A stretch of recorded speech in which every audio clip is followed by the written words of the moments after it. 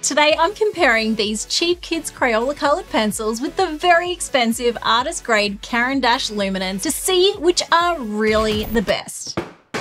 Who are we kidding? The expensive ones will win. If you came here expecting me to tell you that I'm giving up my Caran d'Ache Luminance for Crayola from now on, just no. But there's a secret that our favorite YouTubers have figured out that allows them to get crazy good results out of these cheap pencils to make them appear like a decent match for our luxury artist grade pencils. And I've figured out that secret. I've bought the biggest set of Crayola pencils I could find to give me a huge range of colors to work with. This set cost me $28 on Amazon, which works out at 24 cents per pencil. Although if you buy a small set of 100, it's only 17 cents pencil. What? Fun fact, since I'm in Australia, whenever I'm on the Amazon USA shop and I want to get US pricing for you guys, I use the postcode 90210. it's the only one I know. It's not necessary to have such a big set of colours, but since cheaper pencils generally don't blend or layer quite as easily as higher quality pencils, I like to spend a little more to get the bigger range. Especially since smaller sets tend to include more of the brighter colours and less of the muted or pale colours that are ideal for drawings like this. One common issue with cheaper pencils is that the colour of the barrel doesn't always match the colour of the actual pencil pigment. So when you're wanting to match a colour exactly, you'll need swatches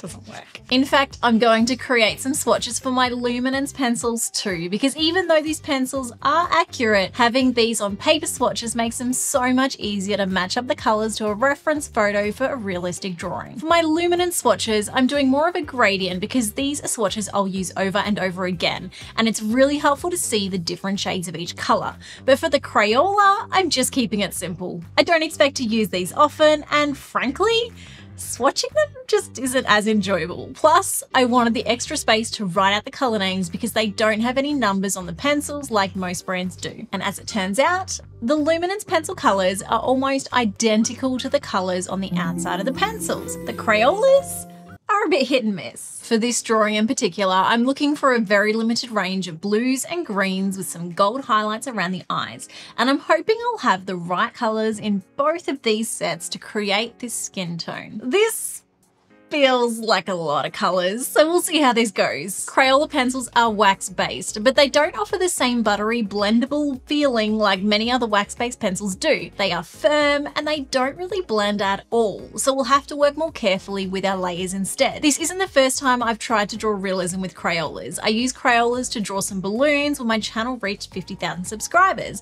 and I was really happy with how those turned out, until I completely ruined that artwork. But before I come to that, I've picked up some tricks that can help to get better results out of these pencils. First, always keep them as sharp as possible. Crayolas can keep a sharper point than most, so I've gone straight to one of the sharpest points that I can get from all the sharpeners I tried a while ago. And it works out well that one of the best sharpeners to achieve this is also one of the cheapest. This handy little Apsara long point sharpener, of which I have a box of 20. The Crayolas are quite hard to sharpen because of their hardwood casing, so I don't like using these in my high quality sharpeners. I worry that they'll break the sharpeners or dull the blades over time, but these, I have so many anyway, so they're perfect. The sharper point gets a much better color out of these pencils pencils. It also makes them smoother to use, helps them to lay down more even color, and they just feel nicer overall to use. But that's not the big secret that I was telling you about at the start of this video. We'll get to that soon, but first, if you want to help your pencils blend, you can use things like solvents, blending pencils, and even certain household items like I tested in my previous video. But please test them first. This is how I ruined my Crayola 50,000 artwork. I thought I was using an artist grade blending product, but in fact, I don't even know what this was. It worked at the time, but now? Look at this. So I recommend leaving your test for a few months if you can to see how they perform over time before using them on your best work. From my other testing, I'd also recommend staying away from baby oil, which I hear recommended all the time, but this didn't seem to ever dry, and it was the only other product that I tried that has left a noticeable stain after all this time. So today I'm using isopropyl alcohol, and I've loaded it into an empty alcohol marker to make my own DIY alcohol pen. This basically spreads out the color into the page and removes the white underneath. After it dries, you can color again over the top to build up even more color. Odorless mineral spirits work even better with wax pencils, but you'll want better ventilation. Let's compare the process of both the cheap and expensive pencils for a moment, and you'll notice that with both sets, I'm working in lots of layers of colors. But this is especially important with cheaper pencils. Where the more expensive pencils can be a little more forgiving and can be worked with on the upper layers,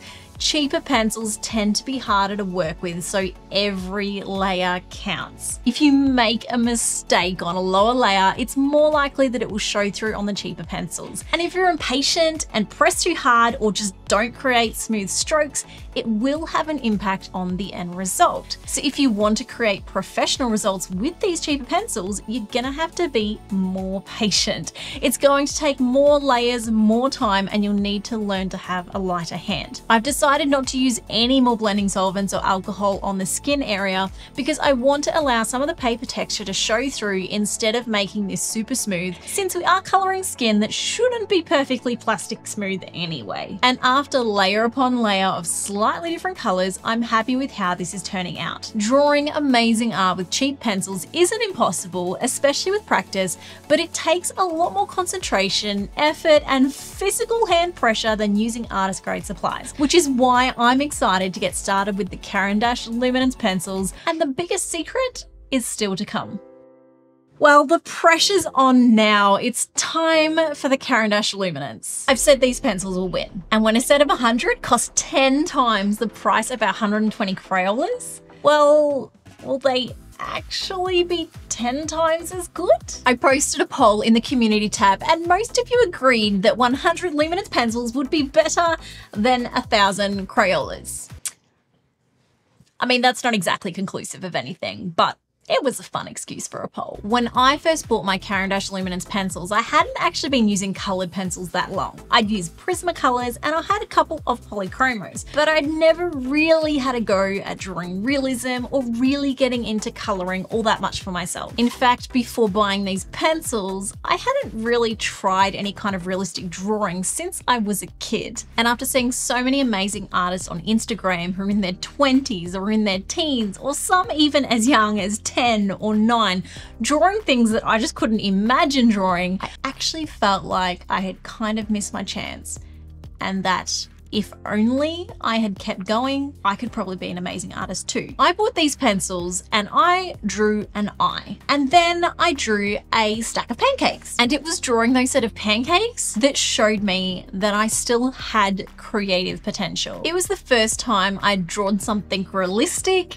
in 10 or 15 years. And for me, the experience of using a quality pencil that just felt like it worked with me instead of working against me unlocked a side of my creativity that I thought I had lost forever. I am not saying that you need expensive supplies to be an artist, not at all. But in my personal experience, I don't know if I would have continued using colored pencils if I found myself constantly frustrated with my supplies, which is how I feel when I'm using something like Crayola. When you find the right supplies for the job, whether it's Luminance or maybe it's another brand for you. It changes the whole experience of creating and you can focus more on the creative process rather than trying to make the tools work. My experience with Caran d'Ache Luminance pencils is that they are easy to blend and layer and they are very enjoyable to work with. I wouldn't quite describe them as buttery or super soft like Prismacolor. In fact, they can almost feel slightly chalky in comparison, which means they do work better on some paper compared to others. The colors are bold and they are really easy to lay down. In fact, it takes almost no effort to get color on the page and they just feel nice to hold. I'm not going to use any solvent on my Caran d'Ache side. I rarely use solvents with these pencils. Sometimes I'll use a Caran d'Ache pencil blender, but I don't want to give them any extra advantage over the Crayola today.